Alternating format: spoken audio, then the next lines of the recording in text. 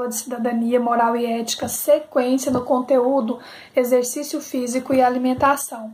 Falamos na última aula de ética sobre a importância do nosso corpo estar sempre em movimento, praticando algum exercício, qualquer exercício, desde que você esteja se movimentando, se mexendo, seja na brincadeira, numa dança, uma caminhada leve e outra tem que estar aliado a uma boa alimentação, porque se você não se alimenta bem, você não está cuidando do seu corpo, que é a sua morada. Tem que estar, ó, o corpo tem que estar ok para você conseguir estudar. É, você se alimentando bem, praticando exercícios, você vai ter disposição é, para estudar, vai estar com a mente legal, tranquila.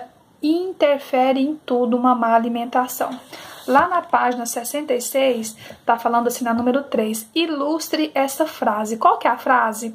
Tá falando assim, é nosso dever cuidar do nosso corpo, é o que eu falei, é a nossa morada, a nossa casinha, nosso corpo. Então, se eu não cuido bem da minha casa, eu vou estar morando, vivendo num ambiente limpo? Não. Então, eu tenho que cuidar bem do meu corpo. Como? Hábitos de higiene, né? Você tem que cuidar muito bem. Quando vai tomar o seu banho, capricha no cabelinho na hora de lavar o cabelo, lavar aqui, lavar suas partes íntimas. Você tem que caprichar na higiene do seu corpo e também por fora, né? Cuidar por fora. Quando você vai cuidar por dentro, gente, cuidado com as besteiras. A gente come mesmo bastante besteira, principalmente quando a gente está na rua.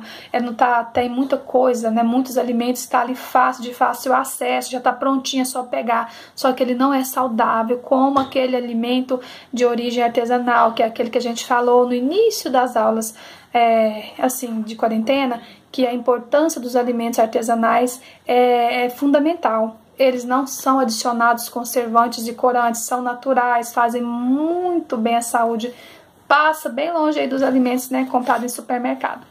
A frase é: é nosso dever cuidar do nosso corpo, porque se você não cuida do seu corpo, quem vai cuidar para você? Ninguém, né? Começa por você.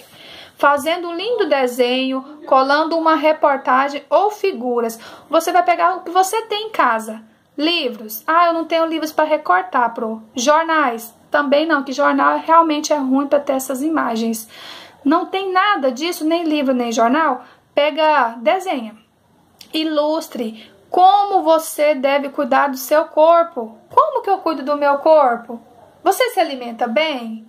Você pratica alguma atividade física? Você vai ilustrar para mim, tá? Para refletir aqui no finalzinho fala assim: é, o direito de todo cidadão à saúde é elementar e precisa ser respeitado pois um cidadão saudável pode instruir-se, ir à escola e lutar para fazer valer todos os seus direitos. Então, é o que eu falei, se a gente não estiver saudável, a gente não tem nem força para lutar pelos nossos direitos.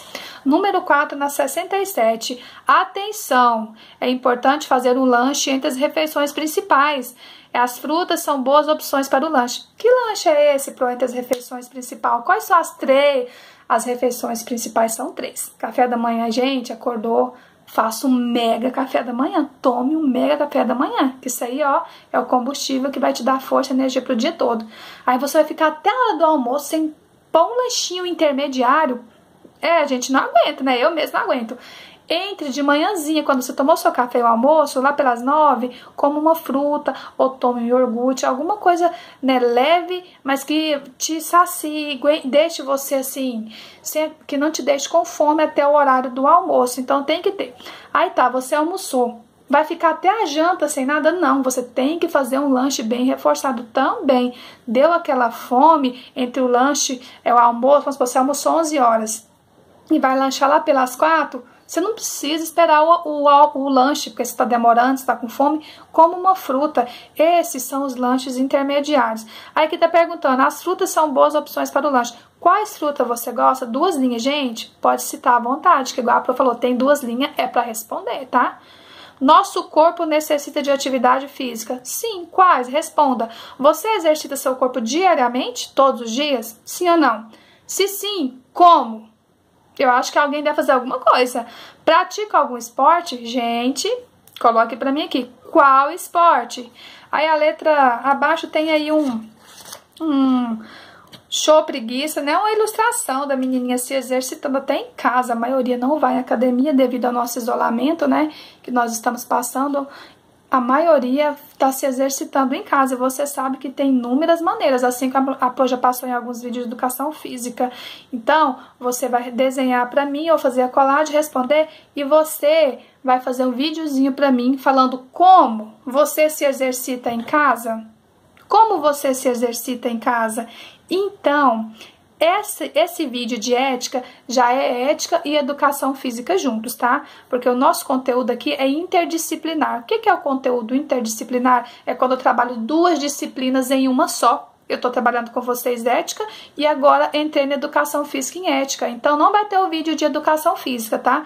Você vai fazer um vídeo, vai falar assim, pro, eu agora estou gravando o vídeo, né? Interdisciplinar, que eu ensinei muito essa palavrinha no início do ano, trabalhando ética e educação física. Vocês vão abrir o vídeo falando assim: Pro, trabalhei, vou gravar agora o vídeo trabalhando ética e educação física sobre a importância da, da, do, do exercício né, nesse momento de quarentena. O que, que você faz na sua casa? Você se alonga? O que, que você faz? Como você faz? Você vai mostrar para mim, filmar e mandar o videozinho sendo de educação física, de ética, a atividade aqui que a Pro falou para vocês, tá? 66 e 67 e mandar a foto para mim, tá bom?